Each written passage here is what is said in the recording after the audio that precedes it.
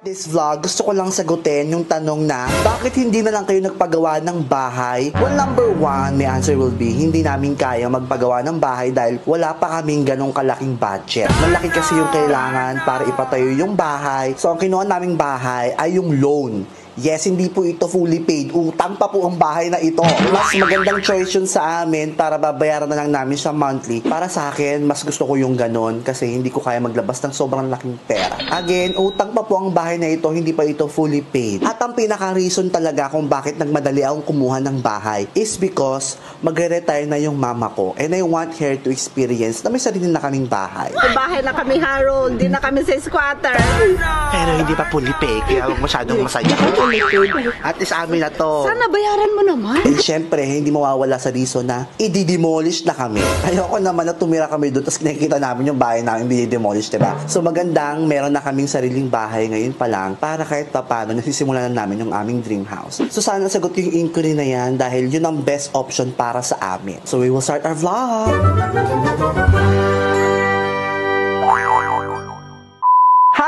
Welcome back sa aking channel and today is the day dahil nag-resume na nga ang construction ng aming bahay at nandito ang ating bagong architect at engineer to discuss us kung ano ang plano natin sa aming extension which is yung classic nating hagdanan. Welcome Ang ganda, merong hagdanan papuntang langit. Pag umakat ka papuntang langit, pag pababa mo na, diretso ka ng impyerno mo. Nagkakaroon ba ng hagdan o wala? Malalaman natin ngayon yan. And also, service na rin nila ang kinuha natin para sa ating landscaping at garahe. Kasi nga, yung ginawa natin last time is extension na ng kitchen. Hindi pa ayos yung garahe at yung landscape ng aming lote. We decided na sila na lang din ang kunin natin para isa na ang kausap at hindi na tayo masyadong stress at nakuha naman nila ang tiwala ko. So today, di-discuss namin sa inyo kung ano yung mga plano nila para sa bagong bahay. And naniniwala naman ako na hindi tayo mai-stress dito. Hi! Hello! Pasok na kayo! Hello, so ito kasama natin ulit ang Team Power Rangers. So ngayon, di-discuss sa atin ni Dax yung mga plans nila. Actually, gumawa kayo ng dalawang option, di ba? Oh, hindi ko na sinama yung third option kasi masyadong costly siya na kailangan pang i-relocate yung door ko. So, hindi ko na sinama yon. So, ito yung ano, option 1. So, upon entering, ito yung laundry. Naisip namin, wag na lang mag-provide ng stairs since enough naman yung um, space to utilize it as sampayan. Tapos sa taas naman, i-utilize na lang siya bilang balcony ng isang bedroom, ay ng dalawang bedroom. Tapos sa second option naman, magpo-provide pa rin ng stairs pa L shape siya. Makikita sa walkthrough mamaya yung itsura ng stairs. Kasi sabi ni Dax, best option daw yung wala nang hagdanan. So, ba't mo napili na ako kasi ayoko din na may hagdan. So, bigyan mo tayo ng magandang rason kung ba't huwag na tayong maghahagdan. Dahil to trauma na ako sa hagdan na yan. Appropriate siya for balcony. So, mas ni-utilize namin yung space na yun para sa balcony ng bedroom. Saka since enough naman yung space ng laundry para magkaroon ng sampayan. Ayun, tapos di rin namin sinama yung option ng spiral stairs dahil kasi sampayan siya eh, so mahirap mag-akit baba ng damit sa spiral staircase. Ang naisip ko kasi, Dax, madami naman kasi pwedeng gawing sampayan. Ako din, mas gusto ko yung option 1 nyo. Pero, gusto ko sana isa lang yung pintuan. Okay ako dun sa isang pintuan. Well, actually, alam mo ba, naisip ko nga na i-extend na lang tong ano. Pero yung, una, yun talaga yung una kong plano sa bahay na to, i-extend tong balcony dito, papunta doon. Paikot na siya. Oo, paikot, pa-L na siya. Kasi may nakita akong base sa mga chismis sa ibang bahay dito, may mga gumawa ng ganun kasi, Dax. right. Oo, para hindi na tayo magbutas pa ng another butas, i-extend na lang natin siya. Kasi sa may bandang unahan dito, may nakita akong gano'n.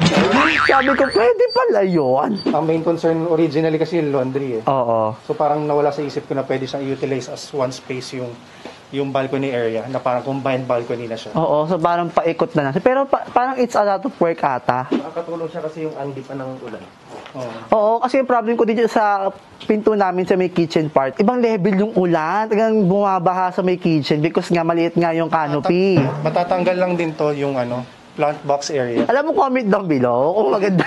comment down below kung tingin nyo mas magandang option yun. Yung i-extend natin yung. So, kung ganun yang, huwag na natin yung extend. Okay na ako doon. Sa Okay, una. sa option 1. Oo. By the Gawa pala yun ni Madam Prey. So, Madam Prey, magpakita ka naman. Naging makeup vlog ka. So, anong vlog mo? Promote mo na din. Precious Retes yung name ko sa YouTube. Ayan, follow niya siya. Siya yung gumawa nun. So, paano, nahirapan ka ba?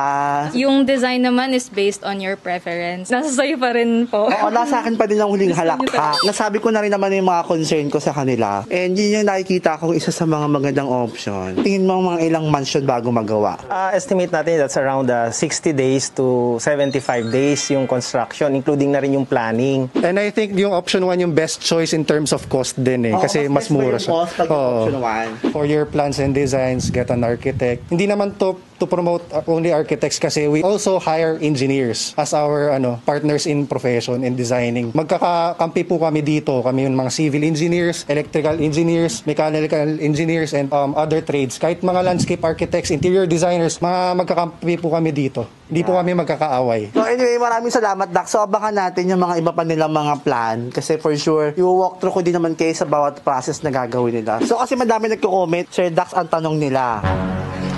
Gusto nilang makita ulit yung mukha mo. Ah, so, akala ko- kasi ang, ang bilis daw last time eh. Ano ba akala mong tanong nila? Puro ducks ba yung tanong eh?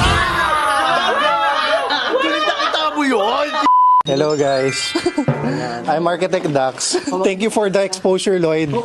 Hanggang dito lang muna, babalitaan ko kayo kung may mga update pa mamaya. Bye! Tapos na yung discussion natin with Architect Docs. So kung mapapansin nyo, nag-iba po yung ating hagdanan at napalitan na po siya ng hagdanan na kahoy.